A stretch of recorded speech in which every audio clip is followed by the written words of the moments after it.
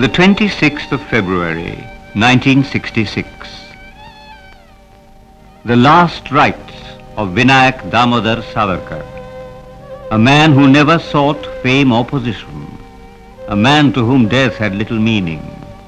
One who believed that the spirit of man is indomitable. Savarkar was born at a time when the echoes of 1857 were still in the air. An uprising which he was to explicitly define as India's first war of independence.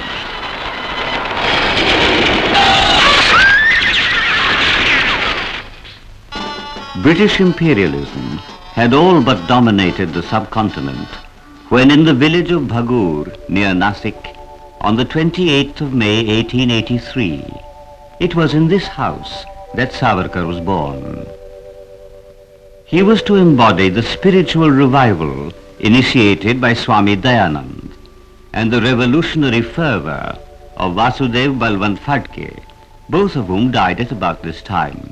परित्राणाय साधूनां विनाशाय च दुष्कृतां धर्मसंस्थापनार्थाय सम्भवामि युगे युगे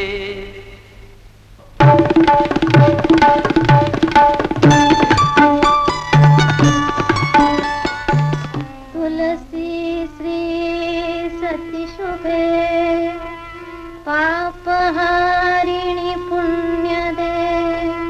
नमस्ते नारदनुते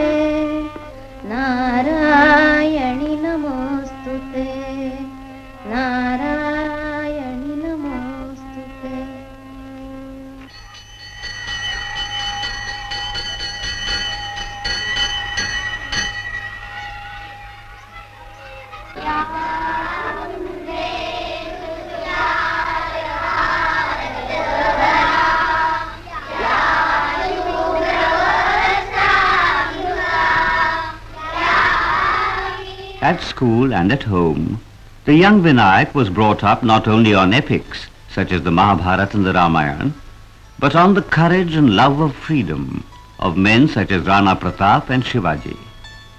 Even as a child, Vinayak read newspapers to know what was happening in the world around him. In 1897, a plague epidemic struck Western India. The plague could not have come at a worse time because famine starved the land. While efforts were made to contain the epidemic, there were many instances of unwarranted cruelty by the British authorities. Houses and belongings were burnt indiscriminately, and people were evicted and dragged away from their homes without any sympathy. Bal Gangadhar Tilak in the Marathi newspaper Kesari asked in bold headlines whether the government had lost its reason.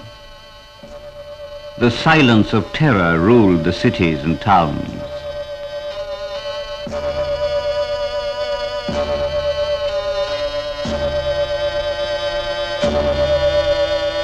There was a great outcry against the Special Plague Commissioner, W.C. Rand, who instead of working in the plague-ridden areas, preferred to spend his time at Government House, especially while celebrating Queen Victoria's Diamond Jubilee.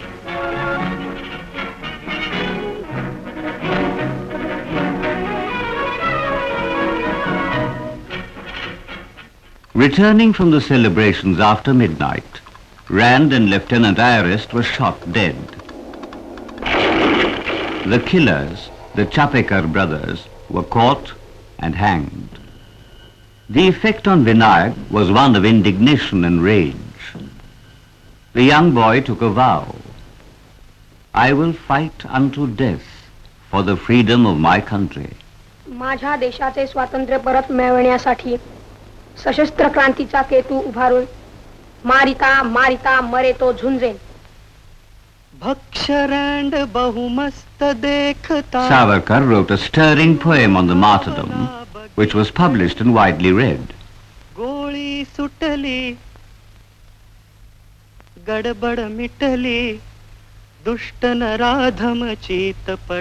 People found it hard to believe that a 15-year-old boy could write such a moving poem. Moreover, they were astounded to discover that the youngster was also an effective orator. In Nasik, whereas the crowds went to pray, Savarkar came to pay homage to this bell, which was captured by the Marathas from the Portuguese in a bitterly fought battle.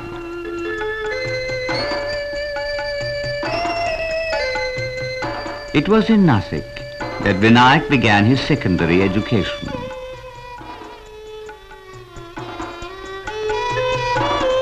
With his newfound purpose, he joined his elder brother Baba Rao Savarkar to start the Abhinav Bharat, a group devoted to shaping a rejuvenated India.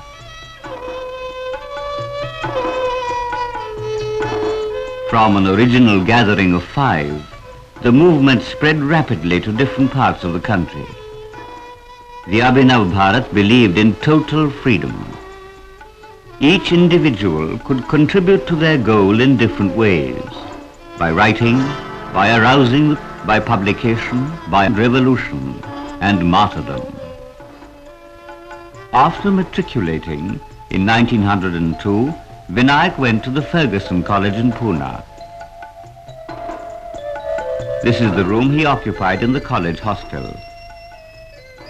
Apart from the books prescribed in the curriculum and the English classics, Savarkar studied Indian culture and history in great depth. Here again, Savarkar introduced the Abhinav Bharat.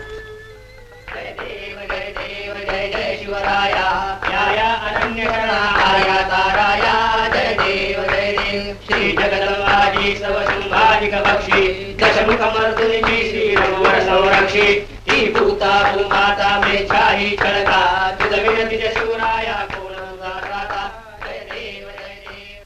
In spite of the fact that the college authorities disapproved of political discussion, Savarkar encouraged and indeed promoted it. Tilak आहेत आणि त्यांच्याकडून आपल्याला चांगलं मार्गदर्शन घे ते सगळं ठीक आहे हा मग म्हणजे आता आपल्याला सगळ्या गावालाच दवंडी पेटवायला सांगितली पाहिजे सगळ्या गावात दवंडी पेटली पाहिजे लोक आले पाहिजेत ना अर्थात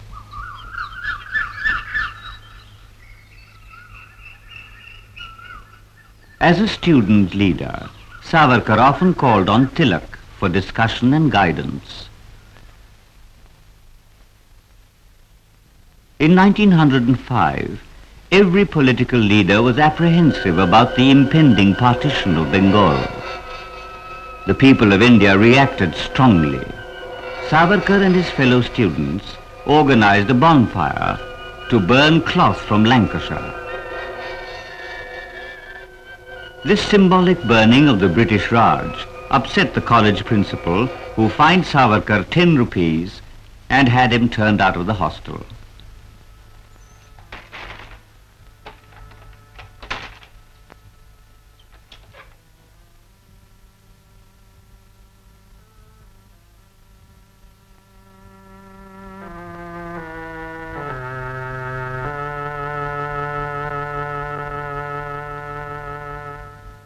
Tilak denounced the college authorities. They don't deserve to be our teachers. At about this time, Savarkar came to know of a patriot living in England, Shyamji Krishna Varma, who was offering scholarships to dedicated young people. Savarkar decided to apply.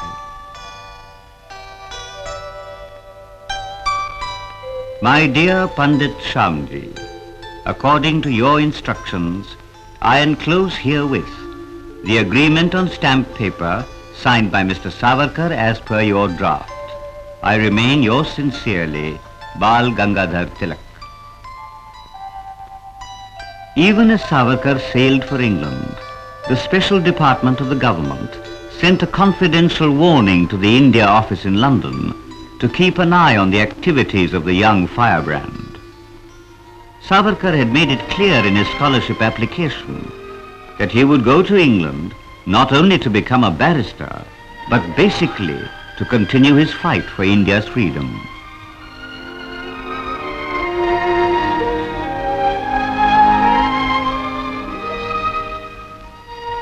This building in Highgate in London was named Bharat Bhavan, India House, by Shyamji Varma.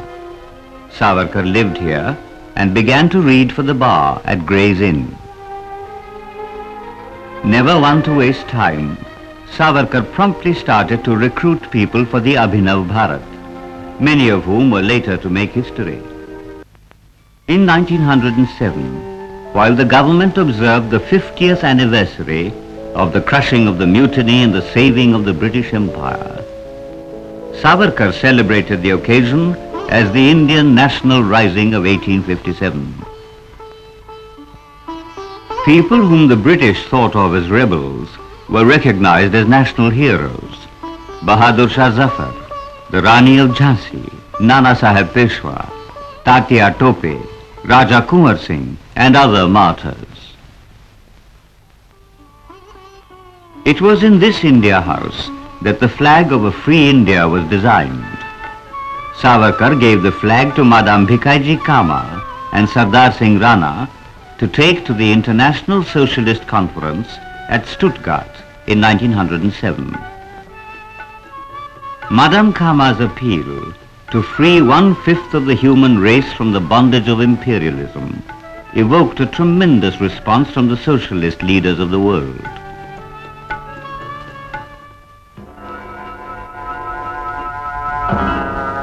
In India, fearing a wave of revolt, the British closed down presses and imprisoned national leaders. The repression in Punjab was particularly brutal.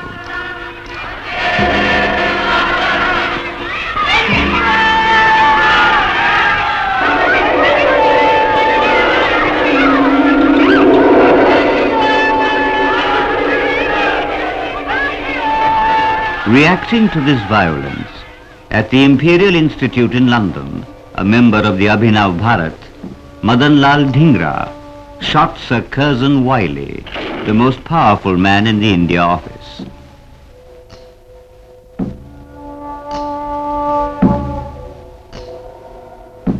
Dhingra was imprisoned and hanged in Pentonville prison. Before he died, Dhingra said of his country, My wish is that I should be born again of the same mother, and that I should die the same death for her again. Winston Churchill said of Dhingra's last words that they were among the finest ever spoken in the name of patriotism. India House was closed down and Savarkar and his friends went away from London. At Brighton, Savarkar wrote a poem which expresses the longings of perhaps every revolutionary in exile.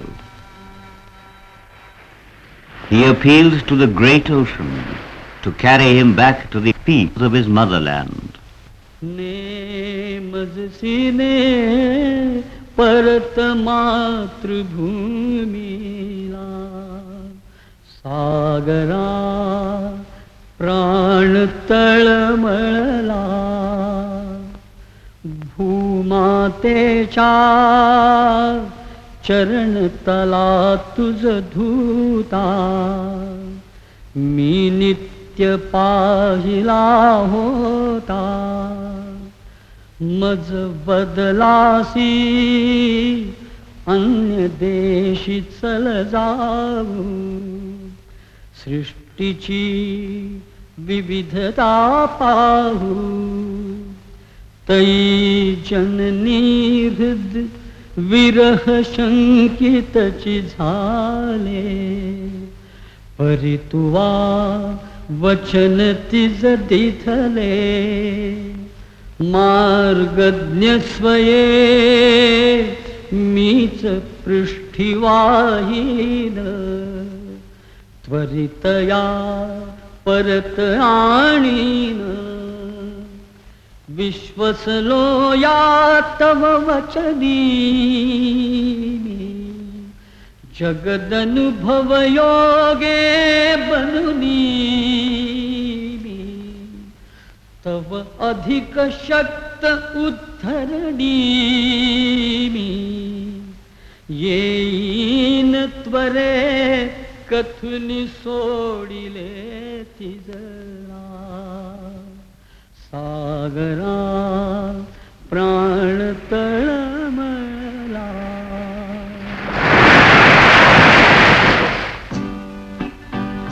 Back in London, Savarkar continued his self-appointed task. Whenever he could get away from Gray's Inn, he read all he could of colonial history, through the ages from Roman times to the British.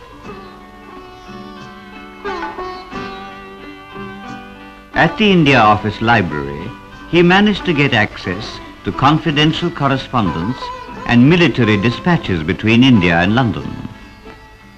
After exhaustive research spread over nearly two years, he wrote the first historically authenticated account of the Indian War of Independence, 1857. The secret services had kept a close watch on Savarkar, and his book was, if not the first, certainly a very rare example in the history of literature of a work being proscribed before its publication. The book continued to be officially proscribed until India finally became independent 38 years later. The book was clandestinely published in Holland, bound in covers purporting to be the works of Charles Dickens and Walter Scott. It was translated into French, German, several Indian languages, and was smuggled to many countries of the world. Meanwhile in India, Vinayak's brother Baba Rao Savarkar had published a collection of poems urging total revolution. He was arrested in Nasik and condemned to transportation for life. Vinayak's younger brother Narayan Rao was also arrested and imprisoned for promoting the idea of freedom. In retaliation against the savage treatment meted out to revolutionaries, the collector of Nasik, A.M.T. Jackson, was shot dead by Anant Kanhere.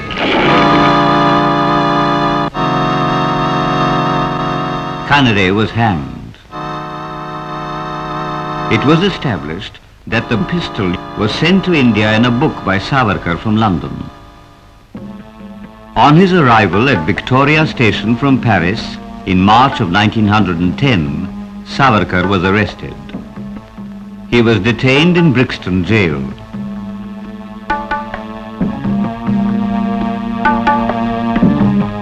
It is interesting to note that whereas England had sheltered Mazzini, Karl Marx, Garibaldi, Kossuth, Lenin and other revolutionaries, De Valera and Savarkar were treated differently because they were under British rule. Savarkar was shipped out to be tried in India. In Marseille, Savarkar eluded his guards and in the early hours swam ashore.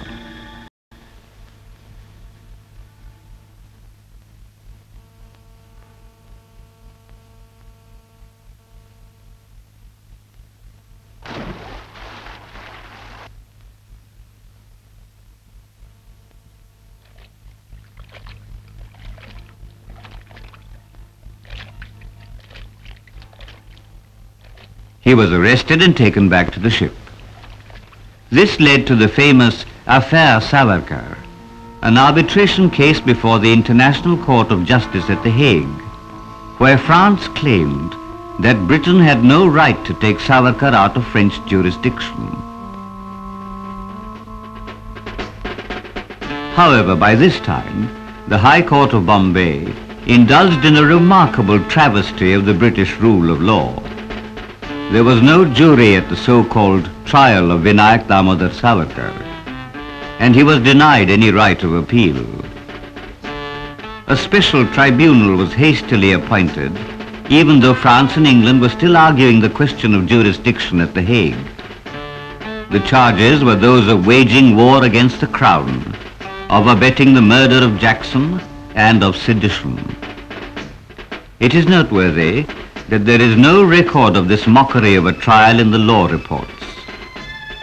Savarkar's property was confiscated and he was sentenced to imprisonment for life, not once, but twice over.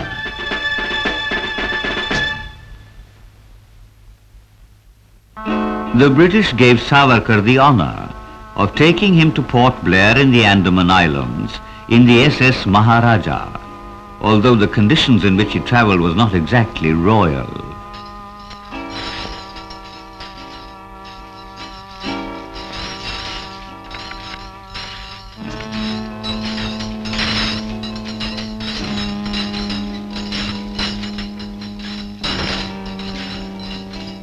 The Andamans were the devil's island of the British Raj.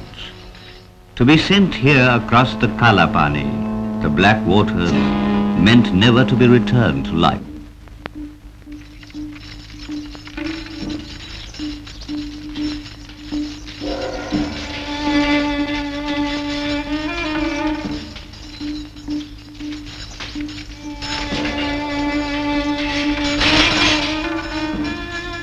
The very entrance of the cellular jail was designed to frighten the life out of a convict.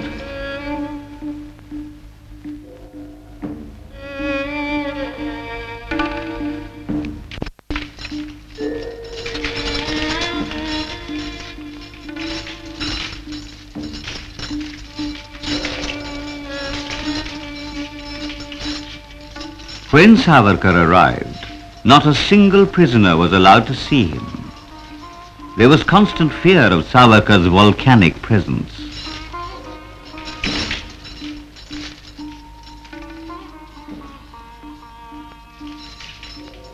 It is a terrible irony that Vinayak did not know that his elder brother Babarao was also imprisoned here at the time of his arrival. He had known that he was in prison, but not where. It was only six to eight months later that he was to know of his brother's presence. His younger brother, Narayan Rao, was also in jail on the mainland. The three of them, brothers in life, brothers in prison, brothers in the cause of freedom. But tragedy and sorrow were never to overshadow Savarkar's spirit. In the extremes of solitude, he was beginning to develop an inner strength, a spiritual defiance of all that the material power of an empire could do to him. The chains and confines of prison meant nothing.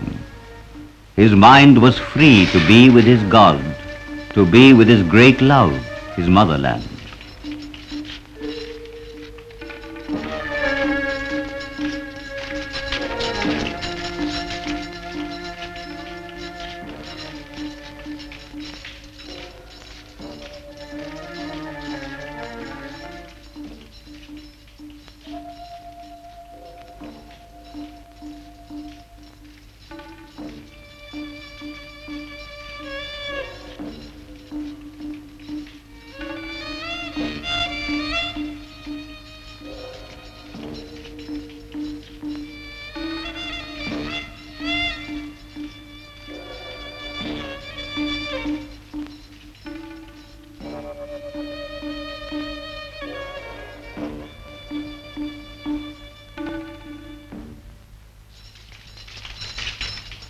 अनादि अनंत मी अनादि अनंत मी अबध्य मी भला मारिल रिपु जगति असा कवण जन्मला कवण जन्मला अनादि अट्टहास करीत जई धर्म धारणी मृत्यूसीच गाठ घालू मी घुसेरणी. अग्निदाि मदसिड्गच्छेदो भिव भाड मृत्यु पडत सुिपू तया स्वये मृत्युचाची भीतीने भिववु भिव भिववु भिभू अनादिमी अनादि अवध्यमी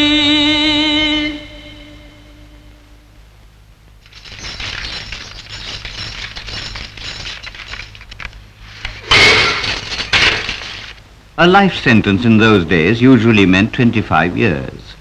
So Savarkar had 50 years of incarceration to look forward to. To begin with, he was placed in solitary confinement for six months, a measure designed to demoralize him.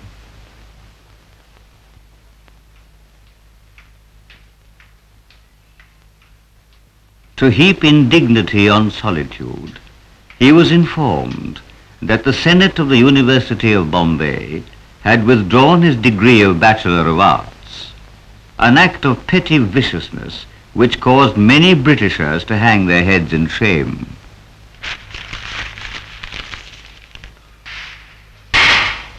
At no time was Savarkar treated as a political prisoner, always as a criminal. During the Delhi Darbar in 1911, to celebrate the coronation of George V and Queen Mary, while officers of the Raj and Indian toadies paid homage to the crown, freedom fighters seem to have been forgotten, but not entirely.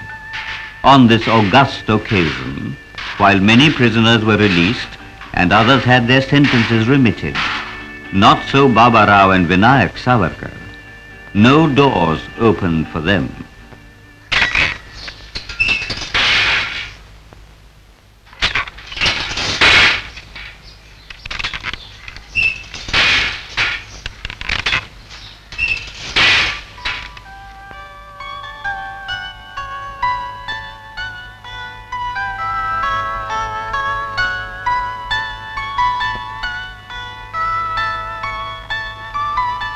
On the contrary, Vinayak was kept in a cell from which he was compelled to suffer the sight of the brutality of his captor.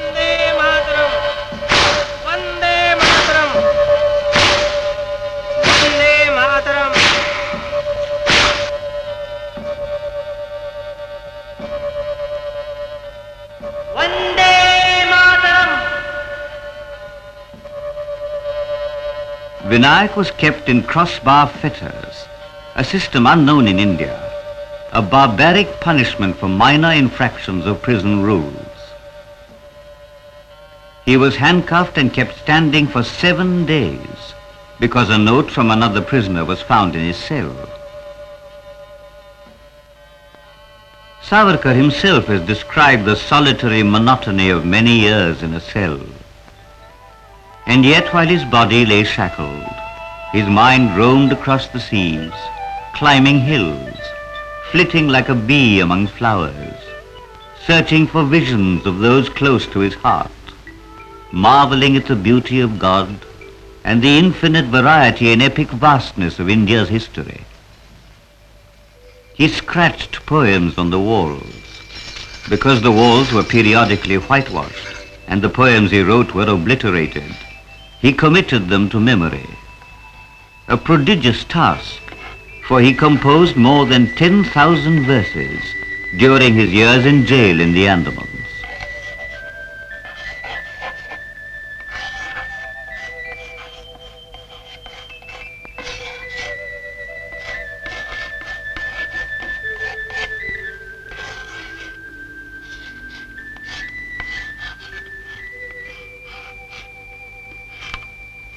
After eight years, Vinayak finally met his wife Yamunabai and his brother Narayan Rao. They had traveled 1500 miles to see him for 60 minutes on one day and 75 minutes on the next.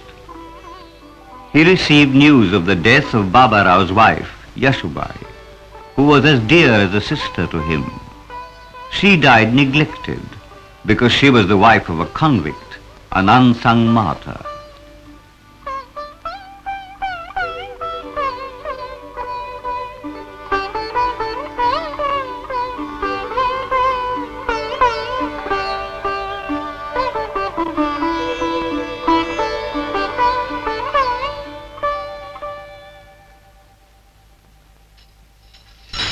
One form of punishment for rudeness to a jailer was to have to extract 30 pounds of oil a day. Savarkar was only one of hundreds of revolutionaries who suffered inhuman treatment.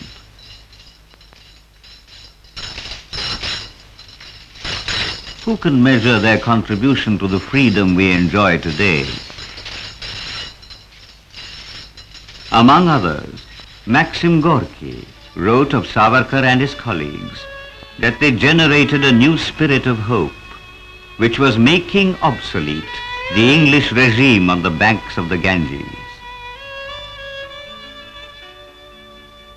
The poor food and the harsh punishment inflicted upon him was too much even for Savarkar's strength. He collapsed.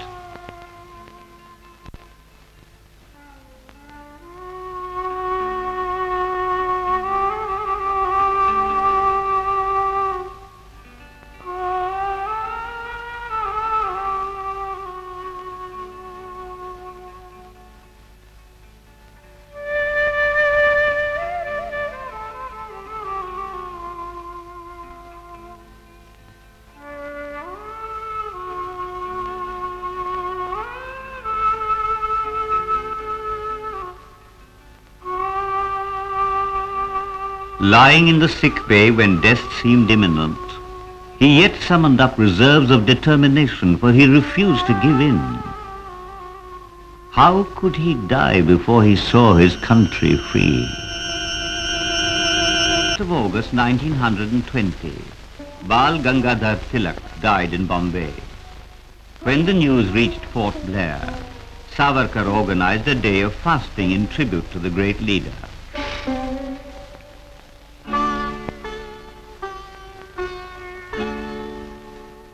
Not a single prisoner touched his food that day. There was a demand throughout India and in other countries for the release of the Savarkars.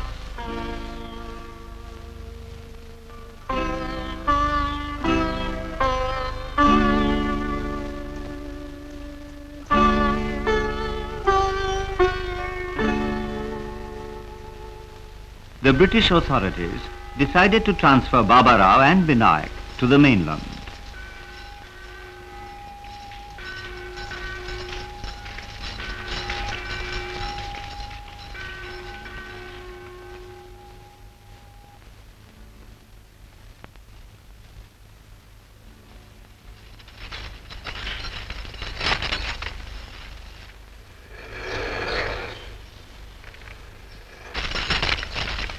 Vinayak was brought to Ratnagiri, to another top security jail. Here he was given some amenities. His first action was to put down on paper the thousands of verses he had composed and memorized in the Andamans. Phulbagh किती शोभे लहान नटवी करी नटुनी थटुनी नाना न खेवरसेवरी आ पर्यन्ता यस्य भारतभूमिका। पितृभू पुण्यभूश्चैव स वै हिन्दुरिति स्मृतः गोडगात चीदान वेदना प्राण। In 1924, Savarkar was released on condition that he should not leave Ratnagiri district and that he should not indulge in any political activity. A breach of these conditions would make him liable to imprisonment again.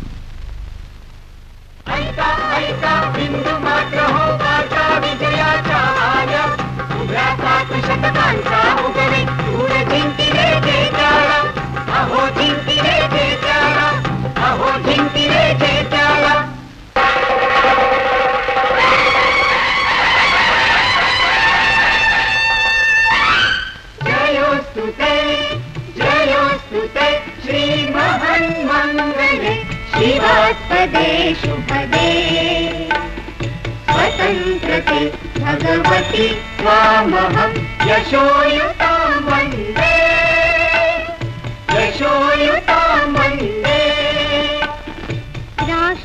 राष्ट्राचे चैतन्यमूर्त तू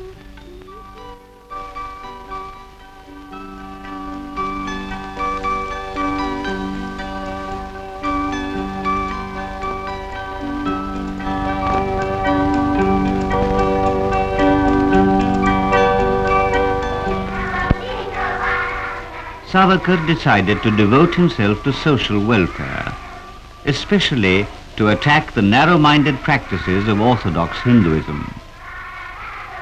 Untouchable children were kept out of classrooms. Savarkar's solution was typically radical. Integrate them.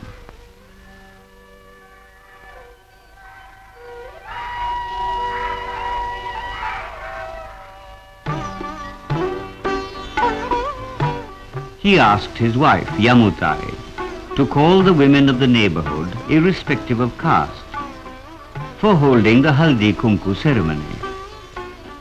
After centuries of neglect, outcast children and women began to feel that someone cared for them.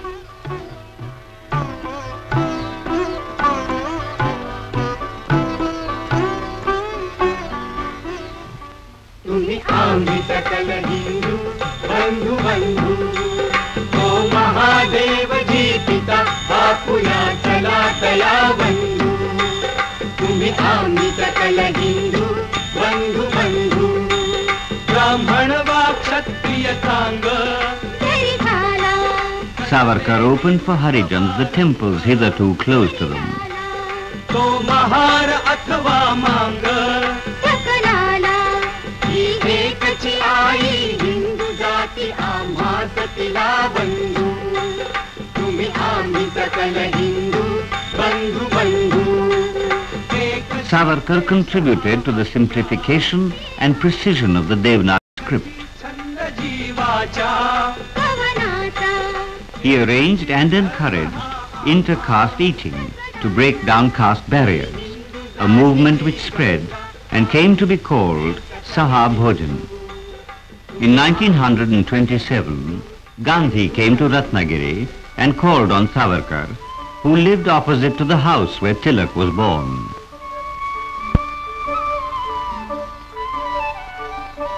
They were meeting for the first time since Savarkar's student days in London. In his house in Ratnagiri, Savarkar devoted himself to writing.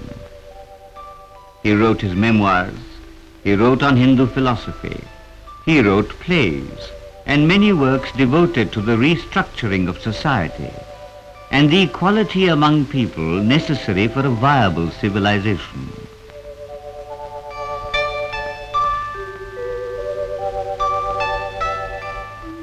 At last, in 1937, Savarkar was released unconditionally. The day of his release, the 10th of May, was coincidentally the date on which India's first war of independence began. On acquiring freedom of movement, Savarkar undertook a long journey to every part of India. He was received by huge and enthusiastic crowds, not only as a Hindu reformer, but as a foremost patriot and revolutionary. Savarkar had a clear idea of his view of the future. While fighting against the British Raj, he said, before you destroy anything, you must know what you are going to construct in its place.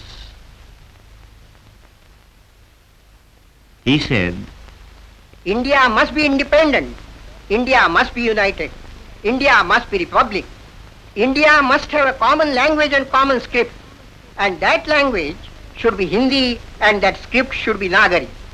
That republic should be a national form of government in which sovereign power rests ultimately and uncompromisingly in the hands of the Indian people.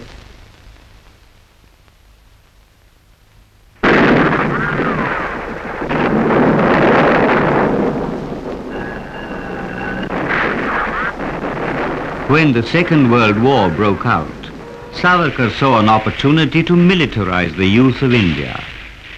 He felt that a trained and disciplined force would be able to choose the direction in which to point their guns. हा तुमच्या मर्जीचा प्रश्न आहे कारण it is not the gun that fights but the hand behind it and not even the hand but the heart behind it In June of 1940, Subhash Chandra Bose conferred with Savarkar in Bombay. The details of that meeting are not known, but it is a fact that Subhash Bose's idea of a military insurrection became known only after that date.